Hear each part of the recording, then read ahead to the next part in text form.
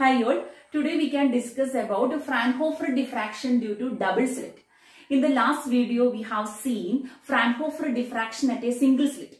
We found various expression for path difference, phase difference, resultant intensity, conditions for center maximum, secondary maximum, minimum, etc. Now we can consider two slits, AB and CD. Let A be the width of each slit and B be the width of the opaque portion in between the slits. Then a plane wavefront of wavelength lambda is incident normally to the plane of this uh, slits. Then according to Huygens principle, each point on this incident wavefront act as a source of secondary wavelets. Then these wavelets which are moving along the same direction as that of the incident ray will focus at the center and it produces a center bright image and all the wavelets which are diffracted at an angle theta get focused at another point q. Here, the diffraction pattern can be analyzed as the combination of diffraction and interference. Now, where the diffraction happens and where the interference happens. Diffraction is due to each individual slits A, B and CD. That theory we have seen in the last video. Interference is due to the superposition of wavelets coming from the two slits at the point Q. Similar to what you have seen in the Young's double slit experiment. So here diffraction pattern has two parts. One is the diffraction pattern that is due to the secondary wavelets from each individual slits and the second is the interference pattern that is due to the secondary wavelets from the two slits which are reaching at the point Q. Now we can separately analyze the diffraction and the interference pattern. The diffraction pattern is due to each individual slits. Then what is the path difference? We have seen in the last video that the path difference at a single slit is d sine theta where d is the width of the slit. Here the width of the slit is a. So path difference due to diffraction pattern at a single slit is a sine theta. Next, what is the path difference in the interference pattern due to two slits? Here we can consider the double slit. For that, let the uh, top point of the first slit and the top point of the second slit we are considering.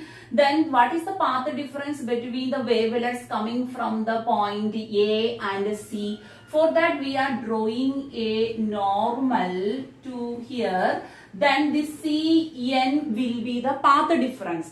To find the CN, we can consider the triangle ACN. Therefore, the small uh, the small angle here is theta. So, uh, here the sine theta will be Cn divided by this AC that is A plus B. So, similar to what we have uh, done in the uh, single slit experiment, here we will get the path difference as delta is equal to A plus B theta. So the path difference in the diffraction pattern due to individual slit is A sine theta and path difference due to double slit is A plus B sine theta. So if we know the path difference, we can find out the uh, condition for maximum and minimum. In the interference pattern, the condition for maximum is this path difference must be an integral multiple of wavelength lambda and condition for minimum is this path difference must be an in odd multiple of lambda by 2. Now what's the condition for maxima and minima due to single slit diffraction? That we have already seen that for maximum that is for secondary maximum the d sine theta here it is a sine theta is equal to 2m plus 1 lambda by 2 and for minimum the condition is a sine theta is equal to m lambda. The final diffraction pattern on the screen will be the resultant of this diffraction pattern due to single slit and interference pattern due to double slit. So that resultant intensity will be the square of the resultant amplitude and it can be written as I is equal to 4a square sine square alpha by alpha square into cos square beta. This a square sine square alpha by alpha square we have seen in the diffraction pattern due to single slit as the resultant intensity. Here there is an additional term 4 cos square beta. So this 4 cos square beta comes due to the interference effect due to the double slit. Now we can see how this equation comes. The intensity is the square of the amplitude. So the intensity at the point Q is the square of the uh, total amplitude. So the total amplitude means that is the superposition of the amplitude of the diffraction due to each individual slit. So let this amplitude from the first slit we can represent by a vector R and amplitude due to the second slit we can represent by a vector R in another direction. The resultant of these two vectors we can find out using the parallelogram theorem. The diagonal of the parallelogram will be the resultant of these two vectors and that we can represent as R dash. So if A and B are the sides of a parallelogram, the resultant uh, square will be A square plus B square plus 2AB cos angle between the two vectors. Here the angle between the two vectors is the phase difference of phi. Then what will be this R dash square? That is equal to R square plus R square plus 2R R cos phi. That is 2r square plus 2r square cos phi.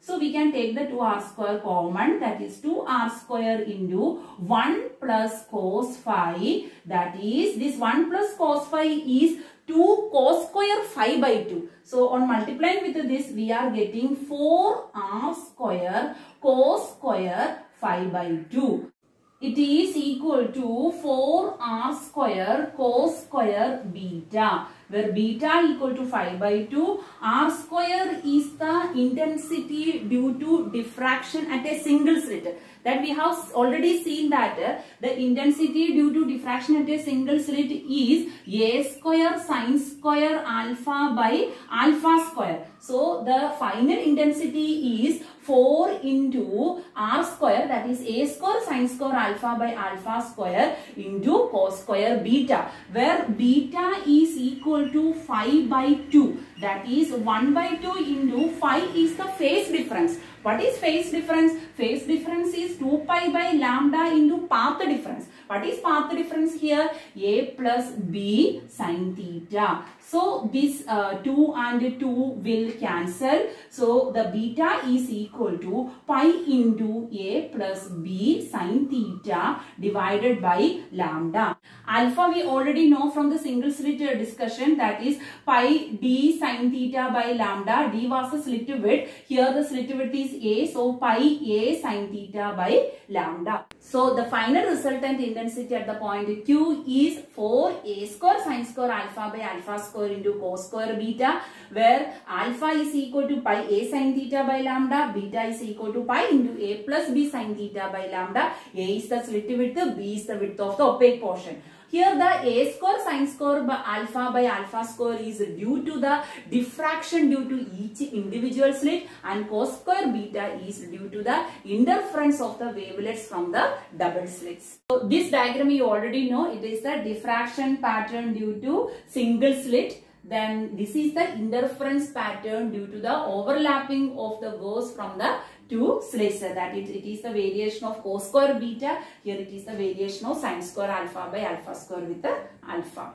Now we can see the condition for maximum and minimum due to double slit diffraction. So the intensity expression is 4a square sine square alpha by alpha square into cos square beta where alpha is pi a sine theta by lambda and beta is pi a plus b sine theta by lambda. So here the sine square alpha by alpha square that is due to the effect of the single slit that we have seen uh, already. Now what is the effect of this intensity on cos square beta? So for the intensity to be maximum, what should be the value of this cos square beta? Thus cos square beta also should be maximum. What is the maximum value of cos square beta? 1. For the intensity to be maximum, this cos square beta value must be maximum and maximum value of cos square beta is equal to 1. For that, beta must be 0 plus or minus pi plus or minus 2 pi etc. That is beta is equal to plus or minus m pi with a m is equal to 0, 1, 2 etc where beta is equal to pi into a plus b sin theta by lambda that we can substitute here. So pi into a plus b sin theta by lambda is equal to plus or minus m pi. So pi and pi will cancel and we will get a plus b sin theta is equal to plus or minus m lambda. So this is the condition for maximum intensity in double slit diffraction where m is equal to 0, 1, 2, etc. If m equal to 0, that correspond to sin theta is equal to 0, then theta is equal to 0 will correspond to the center maximum. This center maximum is also known as zeroth order principal maximum.